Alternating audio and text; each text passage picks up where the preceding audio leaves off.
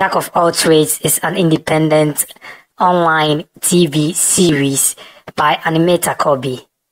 It was shot and edited in Obuasi, the golden city of Ghana by animator Kobby with real life experience as content.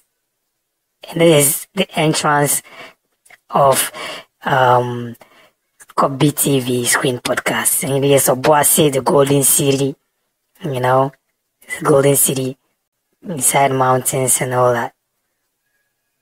Stay tuned for the whole series as it's already online.